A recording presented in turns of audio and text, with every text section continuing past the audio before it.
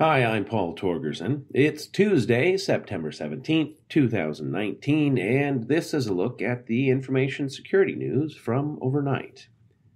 From ZDNet, after going dark for four months, Emotet is back. The dangerous malware's command and control servers were offline, and no phishing emails had been sent since May. That all changed yesterday when everything came back to life. The initial round of spam emails seems to be targeting Polish and German speaking targets.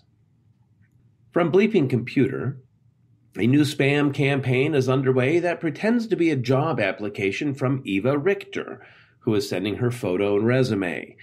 This resume, however, installs the Ordinypt wiper. This nasty pretends to be ransomware, but actually wipes your files. So even if you pay, you get nothing back.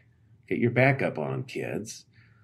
From ZDNet, the details of Lumin PDF's entire database of 24.3 million users has been shared on a hacking forum. The hacker said they leaked the company's data after Lumin PDF administrators failed to answer his queries multiple times over the past few months. In a twist, that database was later hit with ransomware and the data destroyed. Good thing the hacker made a backup?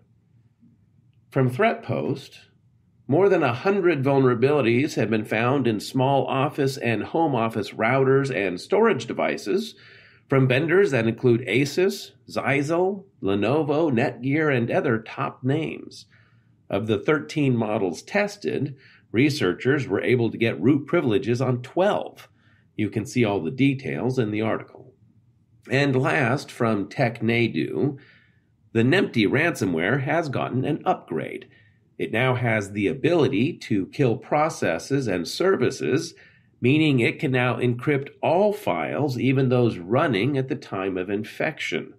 This may boost its profile as a ransomware as a service offering. That's all for me today.